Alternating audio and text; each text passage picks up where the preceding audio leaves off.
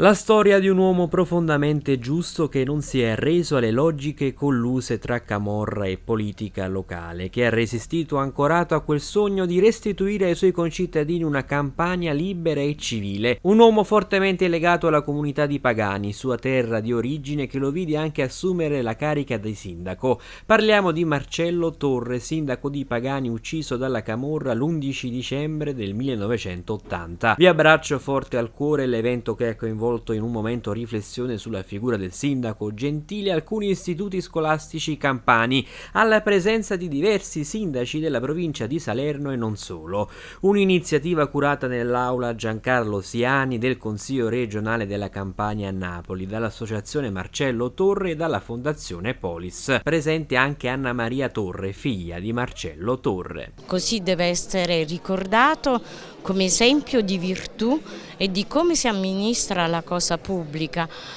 tenendo insieme il bisogno dei cittadini e il rispetto del, delle regole della Costituzione e della legge. A volere la morte di Torre fu Raffaele Cutolo, a capo della nuova camorra organizzata, Torre che nell'arco della sua carriera da avvocato mai interrotta era stato oltre che sindaco di Pagani anche vicepresidente della provincia di Salerno, rimase ucciso in un agguato di due sicari di Cutolo, colpevole di aver ostacolato gli sporchi affari della criminalità nel post terremoto dell'Irpinia, con atti concreti come la creazione di un comitato di gestione di incarichi e funzioni di pari livello tra i partiti. Sentiamo le parole del presidente della Fondazione Polis Tonino Palmese della Pre preside dell'Istituto Ferraioli, Rita Pagano. Ricordiamo Marcello Torre perché è stato, è stato un modello eh, dal punto di vista umano, familiare, politico e culturale. Rispolverare un po' tutti questi personaggi che hanno lottato per la legalità è l'importante non dimenticare perché la memoria